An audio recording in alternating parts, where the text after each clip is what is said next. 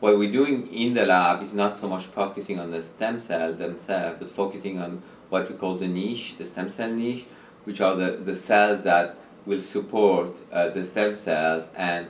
uh, give them the signaling that allows them to stay stem cell and not differentiate and also expand when required. One very good example is in the adult body, the hematopoietic stem cell system. When your resident hematopoietic stem cell are in the bone marrow close to what we call an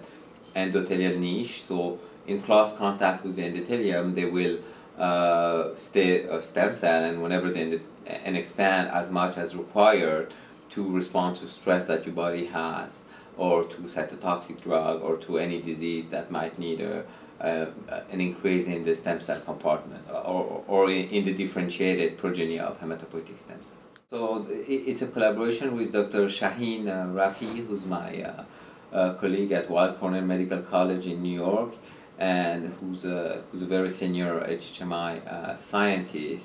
and who was uh, who's who's behind all this concept of endothelium-based regeneration. Um, and uh, the goal is so we now have evidence in, vit in vitro and in some in vivo models, uh, so mice genetic models or mice models, that we can use in the endothelium to regenerate an organ. Uh, so he had he had published uh, evidences in uh, in liver and lung uh, and and, um, and hematopoietic stem cell. We have through our collaborative work worked on the cardiomyocyte expansion and hematopoietic stem cell in Doha, and the goal is now to bring that to a patient. So focusing on, on, on a disease which is like ischemic diabetic patients, being able to go today from um, having no real solution for these patients with uh, peripheral uh, vascular disease to uh, injecting them the appropriate endothelium. So the, the scope of the research is going to be to determine what is the appropriate endothelium, how the endothelium gets injured during uh, development of a chronic ischemic disease, and um, to be able to generate uh, what we call a GMP, so it's an, a cell line that we can be able to transplant to patients, a GMP endothelium that we can transplant and then we can control in terms of uh, maintaining their regenerative potential as well as avoiding fibrosis or um, avoiding uh, any side effects, you know, like maintaining this uh, capacity of regenerating the local tissues. There's a high, high prevalence of uh, diabetes and cardiovascular disease in Qatar. Uh, it, it, I would, I, it's hard to say if it's more in the Qatari population, but the Qatari population are very prone to diabetes. 20% of them uh, might have some kind of diabetes type 2 or 1. And, and so the goal is to be able to give us a therapeutic solution for patients that are usually um, have kind of a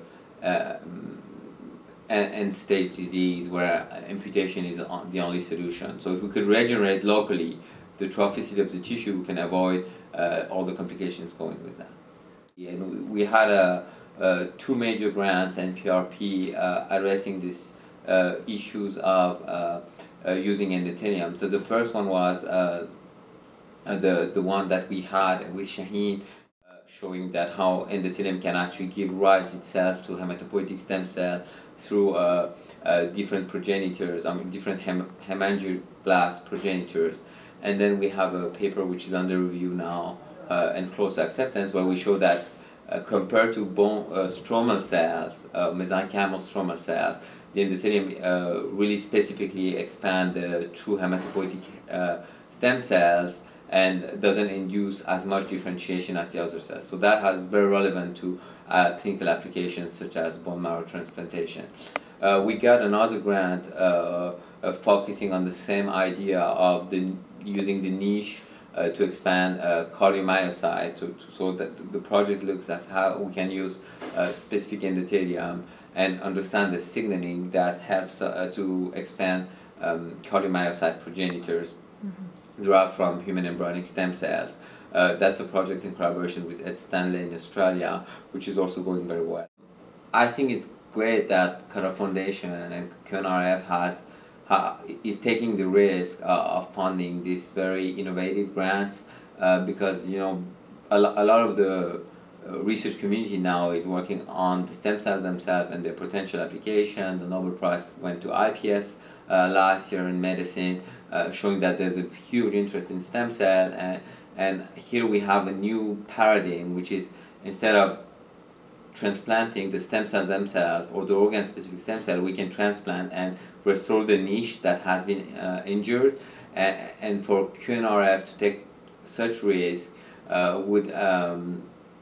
lead to a, a, really a shift of paradigm that um, you don't really need to transplant the organ. If you just restore the normal uh, environment, then the resident stem cell will will do their work and expand, and um, that will kind of put Qatar on a map of uh, regenerative medicine. As it's way broader than just the stem cell themselves, by showing that we're able to have very innovative approaches in Doha compared to th that really compete with the best institute in the world.